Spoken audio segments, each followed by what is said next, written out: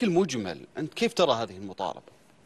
أعتقد أنها مطالبة يعني يمكن نظرت إلى جزئية وأغفلت مئات الجزئيات اللي تقريبا أهم من هذا الجزئية آه أنا ما أدري إيش فكرة الأعضاء اللي موجودين في المجلس حينما طلبوا موضوع أنهم ترفع القروض خاصة أنه حنا على مسافة قريبة جدا من تجربة حدثت معهم قبل أقل من سنتين أو تقريبا سنتين في عام 2020 لما رفعوا هم طالبوا أيضا كانت هذه ثالث مطالبة يمكن منهم برفع القرض المدعوم. وتذكر في 2020 في تقريبا شهر 6 7 في ذاك الفترة رفع الدعم إلى أكثر من كان يغطي 850 ألف القرض ارتفع إلى مليون ريال. فبالتالي إيش اللي حدث في الأسعار؟ ارتفعت الأسعار بشكل مضاعف جدا ومتسارع.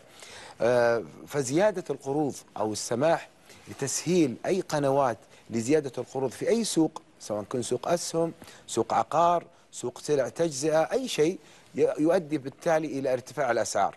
وأنت الآن في أهم قطاع اللي هو قطاع الإسكان حينما تفتح القروض وتزيد التيسير في هذا الجانب سيترتب عليه ارتفاع مو بس فقط المساكن جميع أنواع العقارات والأراضي وسيترتب عليها ارتفاع في تكلفة الإنتاج على القطاع الخاص اللي قاعد يوظف وسيترتب عليه ارتفاع في تكلفة المعيشة على المواطن وسيترتب عليه أيضا ارتفاع التمويل البنكي على على المواطن وارتفاع الاستقطاع أيضا على المواطن. يعني اليوم المواطن في الغالب في الغالب هم يدفعون من 60 إلى 65% من دخلهم لأجل شراء مسكن.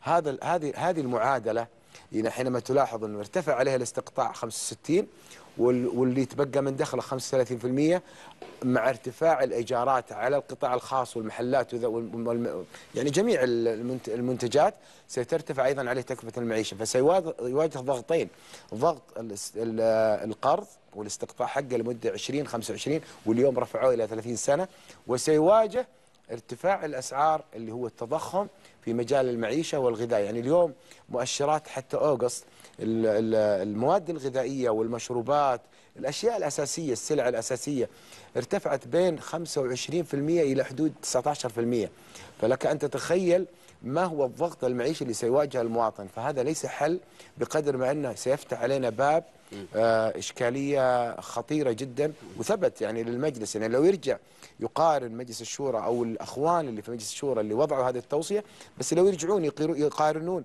الأسعار من 2020 منتصف 2020 إلى منتصف 21 إلى نهاية 21 شوف الارتفاع اللي حدث في الأسعار.